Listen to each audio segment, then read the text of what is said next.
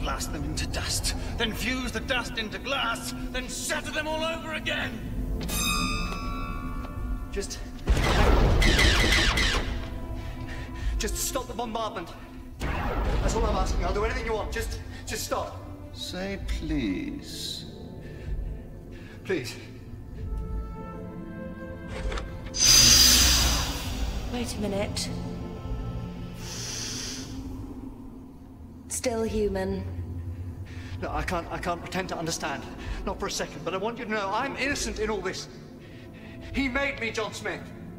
It's not like like I had any control over it. He didn't just make himself human.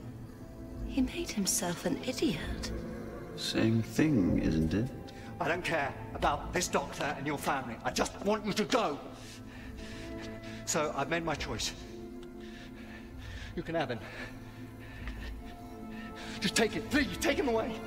Blast.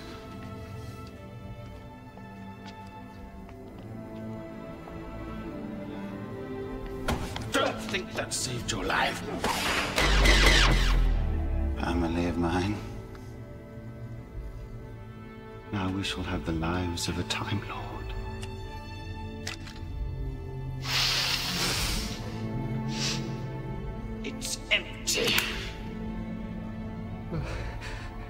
Where's it gone? You tell me. Oh, I think the explanation might be you've been fooled by a simple olfactory misdirection. A little bit like ventriloquism of the nose.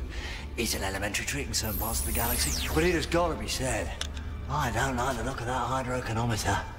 It seems to be indicating you've got energy feedback all the way through the retro stabilizers, feeding back into the primary heat converters. Or, because if there's one thing you shouldn't have done, you shouldn't have let me press all those buttons. But, in fairness, I will give you one word of advice. Run.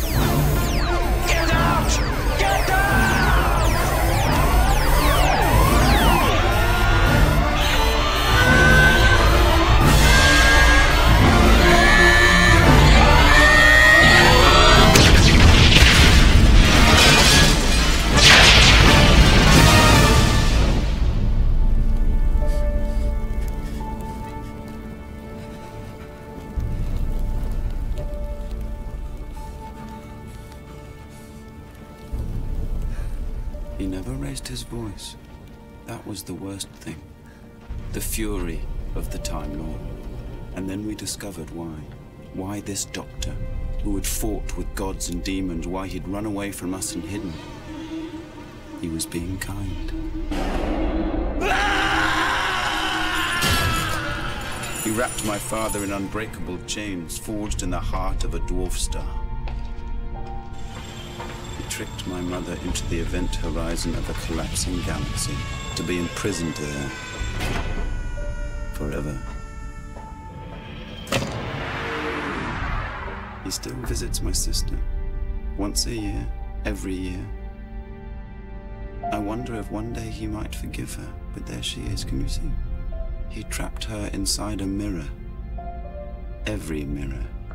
If ever you look at your reflection and see something move behind you just for a second, that's her. That's always her. As for me, I was suspended in time, and the doctor put me to work standing over the fields of England as their protector. We wanted to live forever. So the doctor made sure that we did.